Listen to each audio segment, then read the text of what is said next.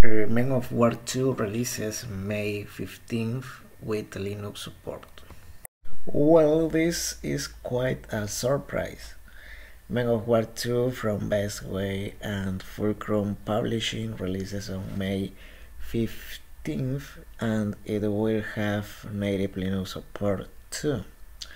Originally due to launch in September 2023 they decided to delay it until this year after gathering feedback from multiple uh, playtests.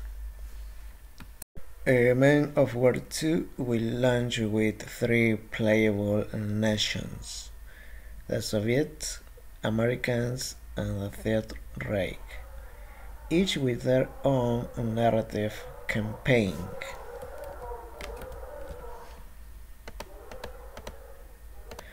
As well as two further historical campaigns a dynamic conquest campaign and a skirmish like raid mode.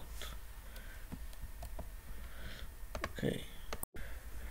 All of the single player uh, content can also be played in co-op with up to 5 players and the game offers extensive PvP and PvE multiplayer options, including ranked matchmaking for all three battle setups, battalions, combined arms, and classic mode.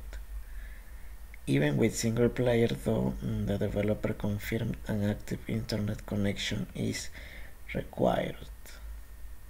Okay. Um,